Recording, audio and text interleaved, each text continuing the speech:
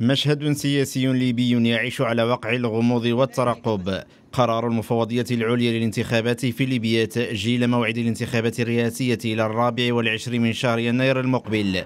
زاد المخاوف من عدم التوافق حول مسار سياسي ينهي الأزمة الراهنة. ردود الفعل إزاء هذا القرار تتواصل من أكثر من جهة سياسية في البلاد.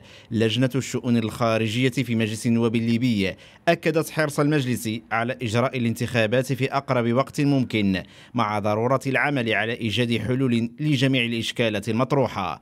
اللجنة أكدت أن اختيار حكومة جديدة أو الإبقاء على تشكيلة الحكومة الحالية يظل من صلاحيات مجلس النواب وعلى الجميع احترامه. ودعا بيان صادر عن المجلس المجلس جميع المكونات السياسية إلى خلق ظروف مناسبة للانتخابات الرئاسية وتجنب الخلافات. من جانبه أرجع خالد المشري رئيس المجلس الأعلى للدولة في ليبيا الفشل في تنظيم الانتخابات في موعدها المحدد إلى غياب قاعدة دستورية توافقية موجها انتقادات لاذعة للتاريخ الجديد للانتخابات الرئاسية. ودعا خالد المشري مجلس النواب الليبي إلى تفادي اتخاذ خطوات أحادية دون التشاور مع المجلس الأعلى للدولة مبرزا أهمية احترام مضامن الاتفاق السياسي.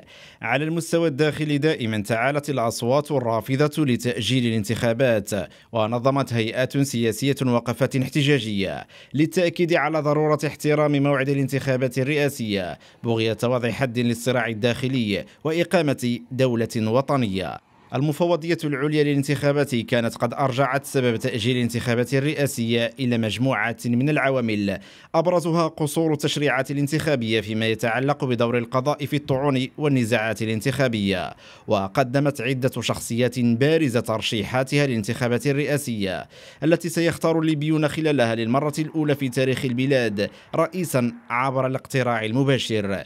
ويأمل الليبيون أن تنهي الانتخابات المقبلة حالة الصراع الدائم الدائرة وتمكن من تحقيق الأمن والاستقرار في البلاد.